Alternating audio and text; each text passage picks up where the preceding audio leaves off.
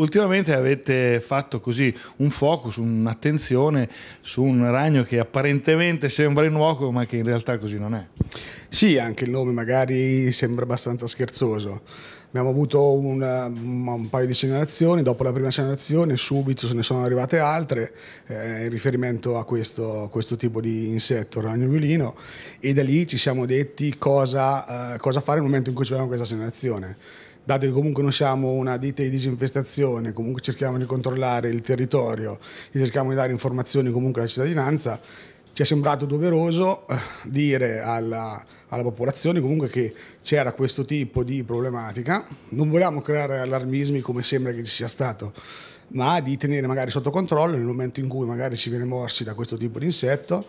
e di, di, non, di, non, lasciarlo decadere e di lasciar perdere, ma comunque tenere sotto controllo e, e magari cercare di, di andare a,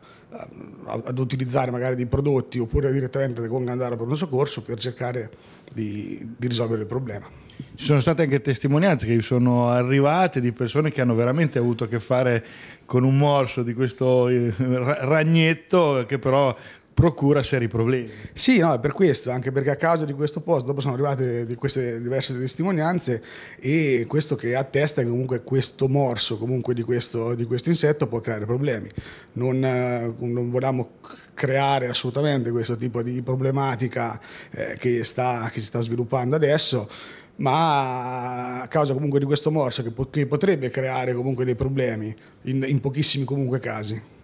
e da lì è nato, è nato, un po' il tutto. Un po' di precauzione, un po' di pulizia domestica possono prevenire questi problemi? Sì, basta comunque andare a utilizzare aspirapolvere e andare a cercare un modo in maniera migliore comunque le varie ragnateli che ci possono essere e la pulizia sì è una delle, delle peculiarità di questo, di questo tipo di interventi di disinfestazione.